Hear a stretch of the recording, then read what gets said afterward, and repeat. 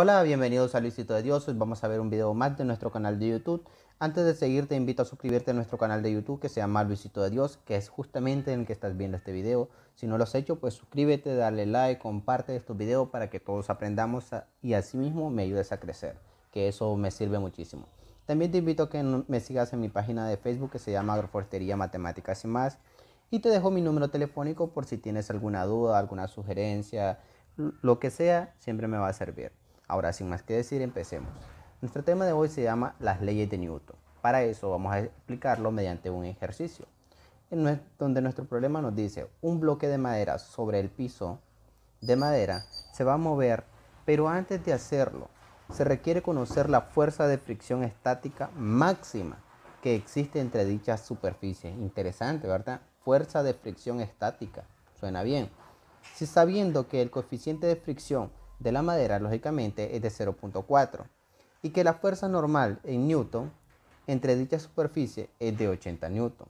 ¿Qué valor tiene la fuerza de fricción máxima? Interesante, ¿verdad? Saquemos nuestros datos. ¿Qué nos dice primero? Vamos a sacar nuestros datos.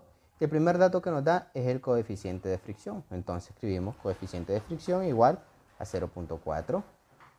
Luego nos habla de fuerza en newton. Entonces, ¿cuántos newton? 80 newton, acá está. Luego, ¿qué nos pide?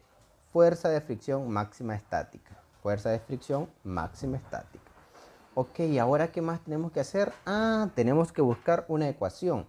Entonces, ponemos la palabra fórmula y buscamos en nuestra mente cuál es la ecuación. Ah, listo. La ecuación es la siguiente. Fuerza de fricción máxima es igual al coeficiente de fricción por la fuerza en newton. Perfecto, interesante. Ahora sustituyamos, pongamos la palabra sustitución y sustituyamos en esta ecuación, en esta fórmula, donde va a ser lo siguiente. Fuerza de fricción máxima es igual a 0.4, que es el coeficiente de fricción de la madera, por 80 newton, que es la que hay, es la fuerza normal que hay entre dicha superficie. Ok, aplicando esto en nuestra calculadora o ingresando esto en nuestra calculadora, nuestro resultado sería 32 newton.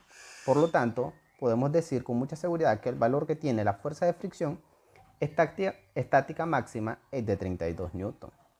Y ahora sí, hemos finalizado nuestro ejercicio. Muchas gracias por ver este video. Te invito a suscribirte, a darle like y a compartir con todos tus amigos. Muchas gracias.